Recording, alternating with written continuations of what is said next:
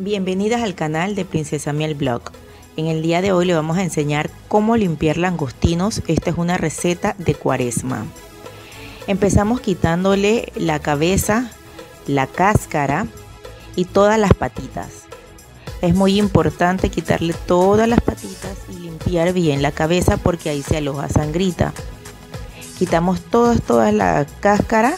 A veces es un poquito dura, pero no es tan dura. Quitamos la colita,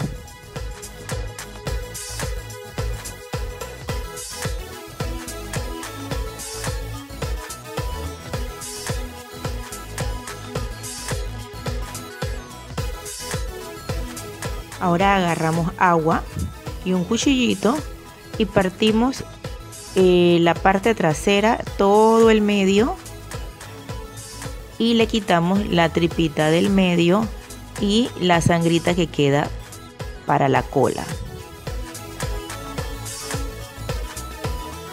Eso se lo quitamos muy bien y esa parte la limpiamos muy bien ya que esa tripita no se debe comer. He visto gente que se la deja, pero no, eso es antihigiénico en los camarones y langostinos.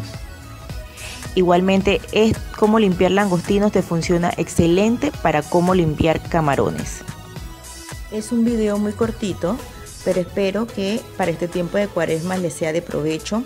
Si les ha gustado, deditos arriba y por favor dennos el apoyo y suscríbanse a este canal y a todas nuestras redes sociales. Se les quiere mucho, un besito, bye.